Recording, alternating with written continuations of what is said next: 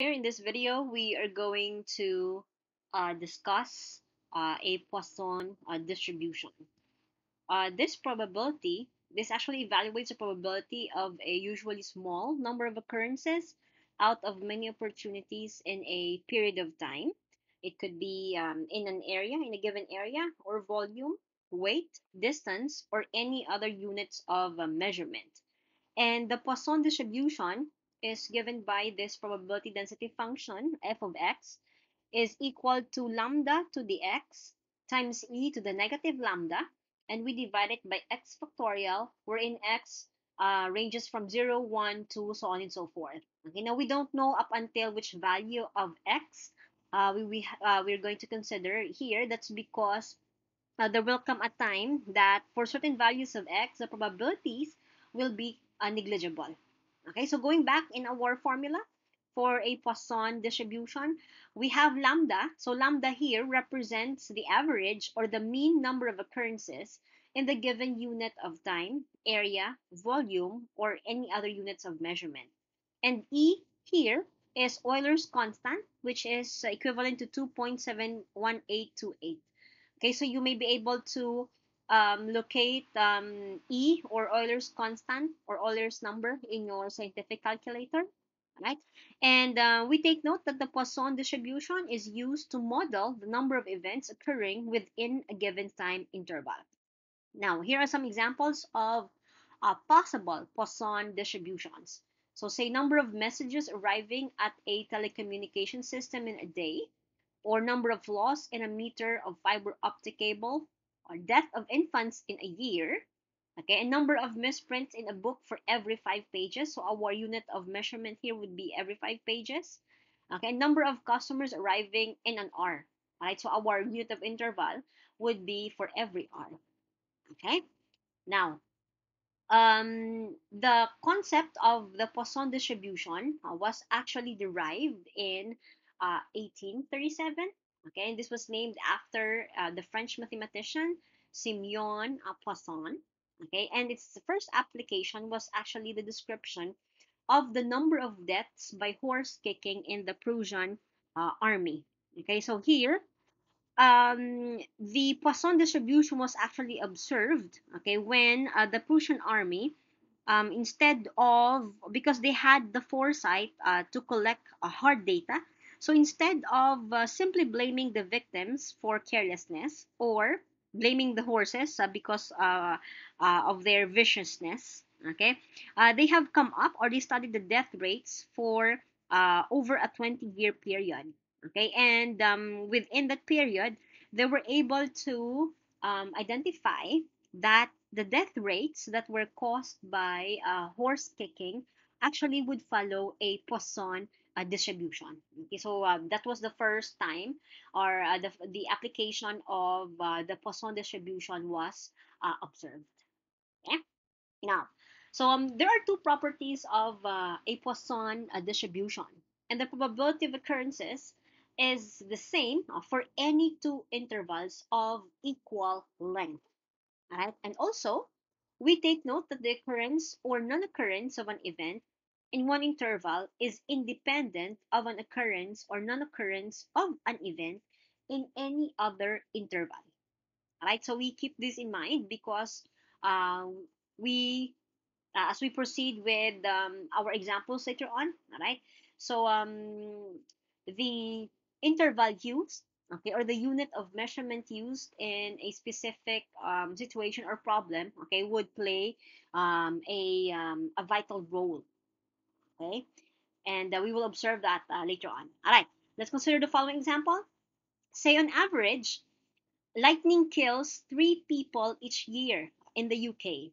So that means to say our lambda here will be equal to 3. So again, lambda represents the mean or the average number of occurrences in a given time interval. So in this case, our time interval is for uh, every year or per year. All right. So we are asked what is the probability that only one person is killed this year? Okay, so here in um, in what is recording the problem is that our time interval is also for a year. Okay, which is the same uh, time interval indicated in our problem which corresponds to our lambda of 3, um, or the average number of people killed in a year is 3. Okay? So uh, here, assuming that these are independent random events, so the number of people killed in a given year, therefore, will follow a Poisson distribution. Okay, so notice in this uh, probability histogram, all right, so there will come a time, okay, for certain values of x, the probability values becomes negligible. Okay, so we have what we call a Poisson uh, distribution. So going back to our problem, we define our random variable x to be the number of people killed in a year. Okay, so going back, our formula is given by p of x, or the probability of a specific value of x, okay, is given to be e to the negative lambda times lambda raised to x all over x factorial. And we keep in mind that in our problem, our lambda is equal to 3, or the average number of people killed by lightning in a year is equal to 3. Okay, so plugging that in, our formula, when x is 1, because we're looking for the probability that only one person is killed in a year or killed this year, so x will be equal to 1. So plugging in the values of x and lambda in our formula, e to the negative lambda, and our lambda is 3, times 3 raised to 1, that's our x, all over 1 factorial. So I will need you to verify if indeed you will come up with 0.1494. Again, we are rounding up up to the fourth decimal place. Okay, so you can make use of your calculators. Make sure you know how to manipulate your scientific calculators. Or you can um, install a scientific calculator app in your smartphones. Or uh, you can make use of uh, Poisson calculators uh, online. Okay? Now, let's uh, continue. Let's have another example.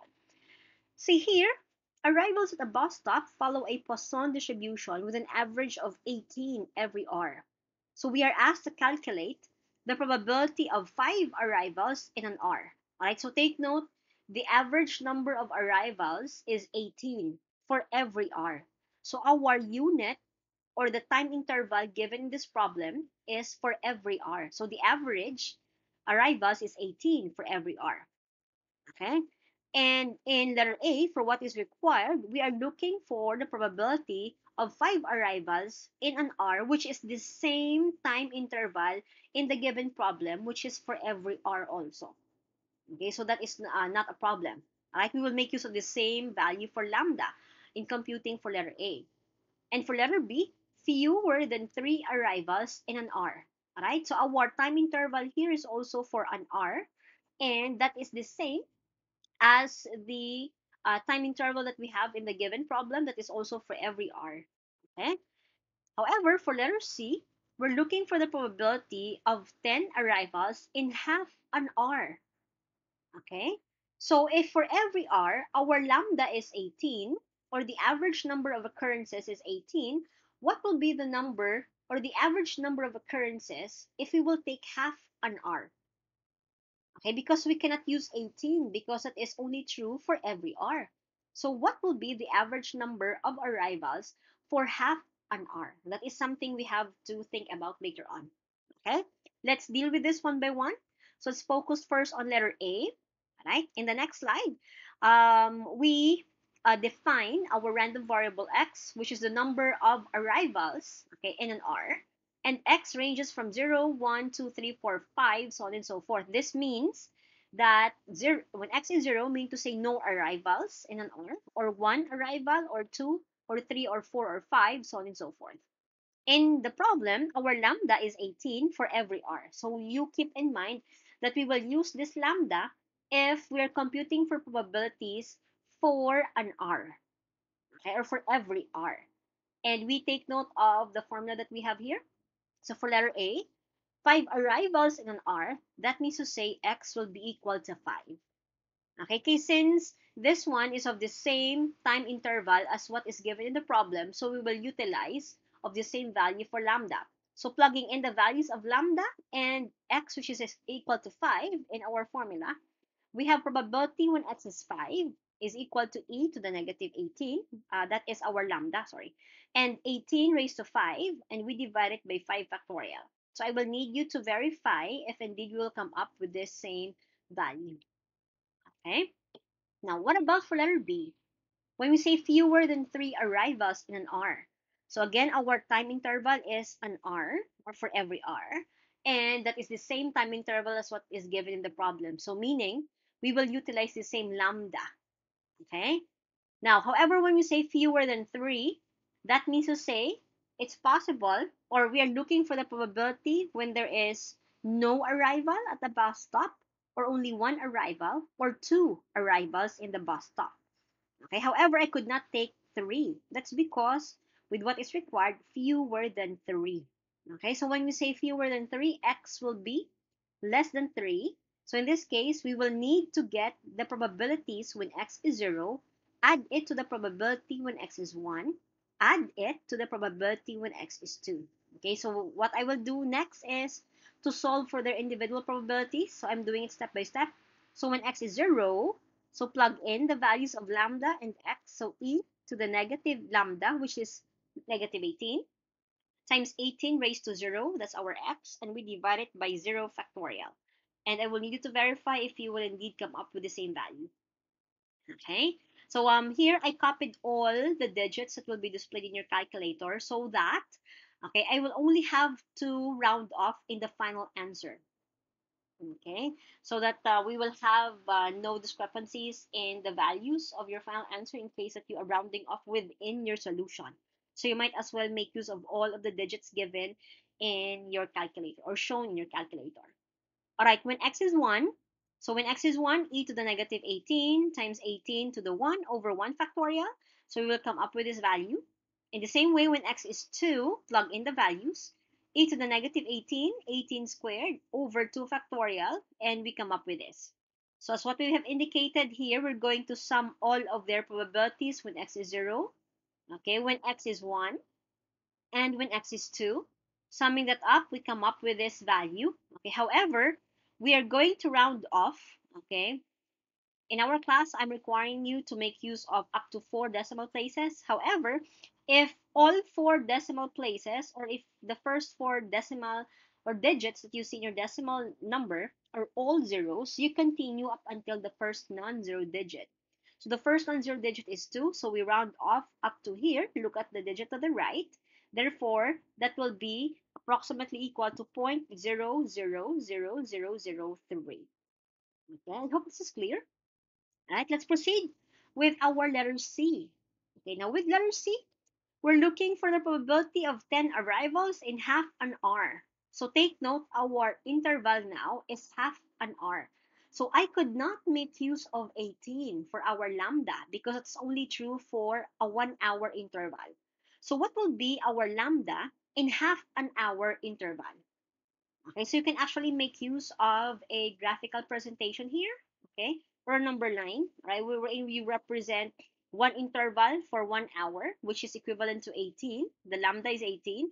So if you take half of that interval, okay, so that will represent half an hour, what must be the corresponding lambda so that the entire one hour interval should be equal to 18? Okay, so if you do it visually, you may be able to indicate there that the value of lambda is 9.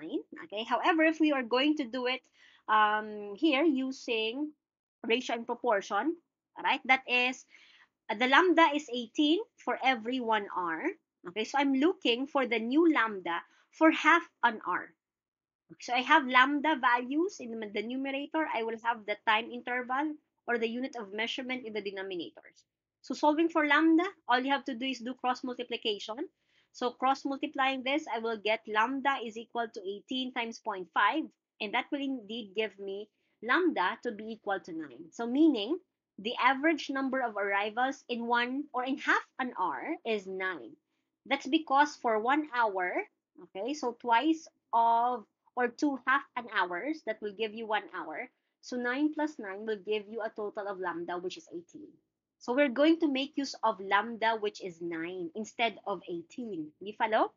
So when x is 10, which is what is required in this problem, so plug in the values. We have e to the negative 9.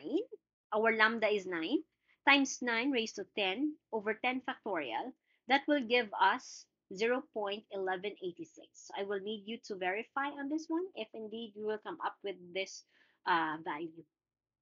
Okay, so we end our discussion here, right?